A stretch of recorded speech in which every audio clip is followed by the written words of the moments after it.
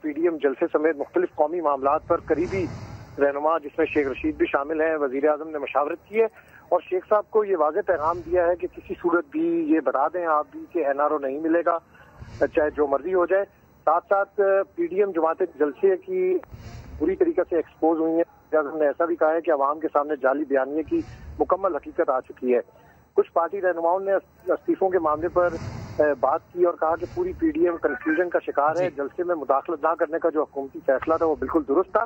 ایک اور اجلاس بھی وزیر اعظم نے آج طلب کیا ہے کچھ دیر بعد ساڑھے چار بجے وہ وزیر اعظم ہاؤس میں ہوگا۔ اس میں جو آئندہ کی اسٹریٹجی ہے اور جو میڈیا پر لائن آف ایکشن ہوگا اس پر وزیر اعظم تمام ترجمانوں کو کے لیے آپ کا بہت شکریہ شبیر۔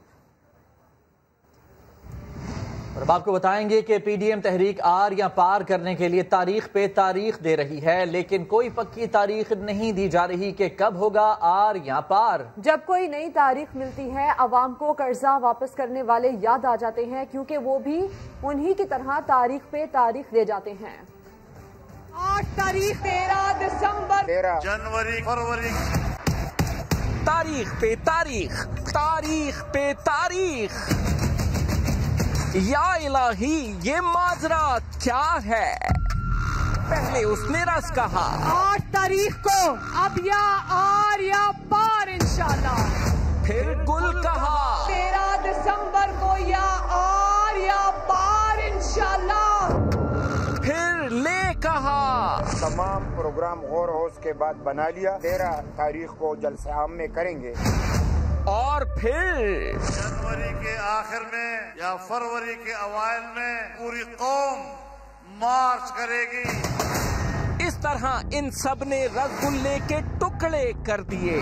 آٹھ تاریخ تیرہ دسمبر۔ تیرہ۔ جنوری فروری۔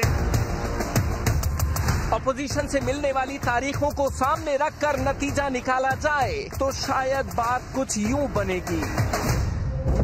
عمر دراز مانگ کے لائے تھے چار دن۔ دو آرزو میں کٹ گئے دو انتظار میں۔ یہ سوال میرا خیال ہے پیچھے سے فیڈیڈ ہے۔ ناراض نہ ہونا۔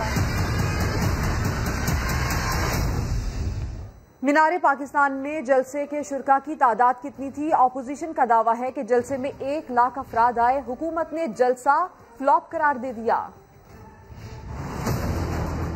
پی ڈی ایم کا مینار پاکستان پر جلسہ۔ شرکا کی تعداد پر متضاد دعوے سامنے آنے لگے۔ نون لیگ کا دعویٰ ہے کہ انہوں نے جلسہ گاہ کو بھر کر دکھا دیا۔ پنڈال میں ایک لاکھ تک لوگ موجود تھے۔ دیگر ایجنسیوں کے مطابق بیس سے بائیس ہزار۔ جبکہ آزاد ذرائع کا کہنا ہے کہ مینار پاکستان پر شرکا کی تعداد پندرہ سے سترہ ہزار تھی۔ دوسری طرف تحریک انصاف نے جلسے کو فلاپ قرار دے دیا۔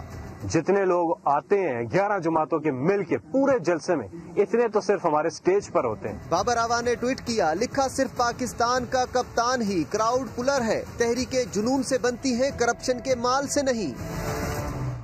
نون لیگ کے رہنما شاہد خاقان عباسی نے لاہور جلسے کو تاریخ کا سب سے بڑا جلسہ قرار دے دیا۔ رانا ثناء اللہ کہتے ہیں کہ ایجنسیوں نے چالیس سے پچاس ہزار افراد کے شریک ہونے کی رپورٹ دی ہے۔ خواجہ آصف تو کہتے ہیں کہ اتنے لوگ تھے کہ گنتی ہی بھول گیا۔ لاہور سے یہ رپورٹ دیکھیے۔ جلسے کے شرکا کی تعداد پر نون لیگ کی قیادت مطمئن۔ ایک دوسرے کو مبارکبادیں سابق وزیر اعظم شاہد اکان عباسی کا دعویٰ ہے کہ یہ لاہور کی تاریخ کا سب سے بڑا جلسہ تھا۔ کل کے فوٹو بھی دیکھ لیں کل کی اٹینڈنس بھی دیکھ لیں اور کل کا جوش بھی دیکھ لیں۔ میرے لڑکے سے پانچ ہزار سے زیادہ آدمی آئے رانا ثناء اللہ اور خواجہ آصف نے بھی اسے کامیاب شو قرار دیا۔ کل بھرپور طریقے سے جو ہے وہ لاہور کے عوام نے بھی اور پنجاب سے لوگوں نے جو ہے وہ اس جلسے میں شرکت کی۔ بہت کامیاب رہا کتنے لوگ؟ جلسہ تھا۔ گنتی نہیں مجھے آتی۔ گنتی ختم ہو گئی۔ رانا ثناء اللہ نے بتایا کہ سینٹرل ورکنگ کمیٹی آج آئندہ کے لائے عمل سے متعلق اہم فیصلے کرے گی۔ مینار پاکستان پر پی ڈی ایم کا ناکام جلسہ سوشل میڈیا پر ٹاپ ٹرینڈ بن گیا۔ مریم ناکام پی ڈی ایم تباہ اور شکریہ لاہور کے ہیش ٹیگ پر لوگوں نے اپنے جذبات کا اظہار کیا۔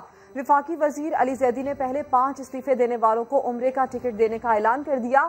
فواد چودھری نے اپوزیشن کو مذاکرات کا مشورہ دے دیا۔ اپوزیشن کا ناکام پاور شو۔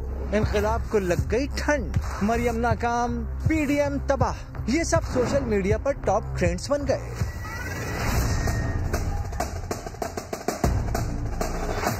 وزیر اعلیٰ پنجاب عثمان بزدار نے ٹویٹر پر پی ڈی ایم کے جلسے میں سوشل ڈسٹینسنگ پر لوگوں کی تعریف کی۔ ان کا کہنا ہے کہ پی ڈی ایم کی حسرتوں کا جنازہ دھوم سے نکلا۔ کل جنہوں نے جس تدبر کا مظاہرہ کیا، وہ اس قسم کی کسی کاروائی میں حصہ نہیں بنے۔ کافی دنوں سے ہی کہہ رہے تھے کہ یہ جو اس قسم کا اکٹھ جو ہونے جا رہا ہے، اس کا یہ غیر قانونی اور غیر اخلاقی ہے۔ تو اہلیہ لاہور نے وہ کر کے دکھایا اس کے لیے میں ان کا شکریہ ادا کر وفاقی وزیر علی زیدی نے ٹویٹر پر لکھا جنہیں دور تک لوگ نظر نہیں آ رہے تھے انہیں سلام مگر حقیقت تو یہ ہے کہ نظر تو کسی کو بھی نہیں آ رہے تھے۔ پہلے پانچ استعفے جو آئے گا اسپیکر کے پاس اسپیکر نیشنل ان کے بعد ان کے لیے عمرے کا ٹکٹ میں دوں۔ کسی نے استعفیٰ دینا، دے دے۔ اسپیکر صاحب کے بعد جمع کرا دے۔ اسپیکر صاحب ایکسپٹ کر لے، عمرے کا ٹکٹ مجھ سے لے۔ فواد چودھری لکھتے ہیں اپوزیشن کا بیانیہ اپنی موت آپ مر گیا۔ انہوں نے حکومت کو ایک بار پھر اپوزیشن کو راستہ دینے اور مذاکرات کا مشورہ دیا۔ ایک صارف نے لکھا، عوام نے اپوزیشن کی مقبولیت کا پول کھول دیا۔ فہیم خان نے پی ڈی ایم کو مک مکا الائنس لکھا۔ شکیل خٹک نے ٹویٹ کیا۔